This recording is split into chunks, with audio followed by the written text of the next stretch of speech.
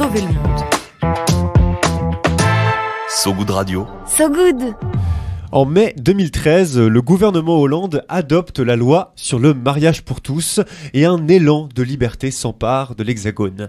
Les premières unions homosexuelles sont célébrées en mairie, les couples gays se galochent dans la rue et pendant ce temps, le fameux un papa une maman de la manif pour tous se fait entendre place Trocadéro. Ça, c'était en 2013, plus de 10 ans déjà, et pourtant, la France ne sera que le 14e pays à légaliser le mariage gay. Ouais, le 14e pays au monde, pour un pays judéo-chrétien, c'est plutôt pas mal. Le premier du globe à le faire, le premier de la classe, ce sera les Pays-Bas en 2001, puis la Belgique en 2003, le Canada et l'Espagne en 2005, l'Afrique du Sud en 2006, la Norvège et la Suède en 2009, vous l'avez compris, beaucoup de pays de l'Europe de l'Ouest.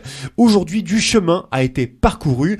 37 pays autorisent le mariage pour des couples de même sexe, de plus en plus en Amérique latine, mais encore très peu en Afrique, en Europe de l'Est ou en Asie. En Asie, où c'est particulièrement net, seuls Taïwan et le Népal autorisent des couples homosexuels à se marier. Ouais, un conservatisme asiatique qui change peu à peu, et actuellement c'est la Thaïlande qui est à la barre. Le pays d'Asie du Sud-Est va débattre en décembre d'un projet de loi sur le mariage gay qui a ses chances.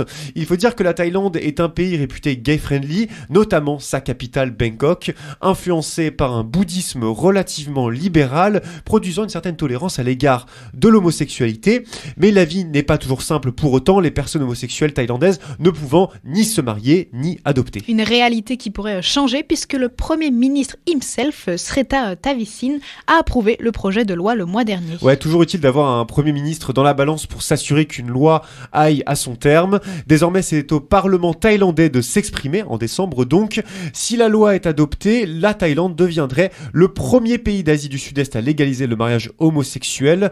Rien de si, de si étonnant au regard des nombreuses manifs en faveur du mariage de même sexe qui ont eu lieu à Bangkok ces dernières années. Des couples de femmes, d'hommes, n'hésitant plus à s'habiller en robe de mariée, en smoking, à s'embrasser devant les caméras pour défendre leurs revendications. Certains sont même allés en préfecture pour tenter d'enregistrer leur mariage. C'est le paradoxe de la Thaïlande, un pays politiquement conservateur mais à rayonnement LGBTQIA+. Chaque année, des dizaines de milliers de Thaïlandais célèbrent le mois de la fierté à Bangkok et les séries thaïlandaises à la sauce Boys Love, c'est des histoires d'amour entre hommes. Elles font un carton dans le pays. Le tourisme thaïlandais est lui aussi très labellisé LGBTQ friendly, mais les discriminations perdurent en termes d'accès à l'emploi, à la santé, au logement. Le premier ministre Sreta Tavisi compte bien y remédier malgré les réticences des partis les plus religieux. Après Taïwan en 2019 et le Népal en 2023, place donc à la Thaïlande. Les mêmes débats ont d'ailleurs lieu au Japon et en Corée du Sud en ce moment, où les tribunaux ont reconnu les droits de couples même sexe ces dernières années. Une première étape vers la légalisation. Une chose est sûre, le mouvement LGBTQ n'a pas fini de queeriser le monde.